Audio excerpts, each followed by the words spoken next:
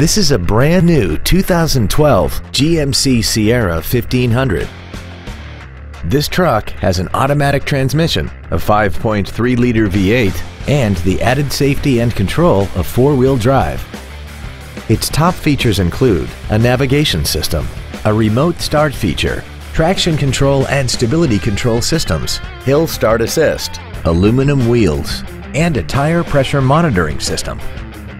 The following features are also included.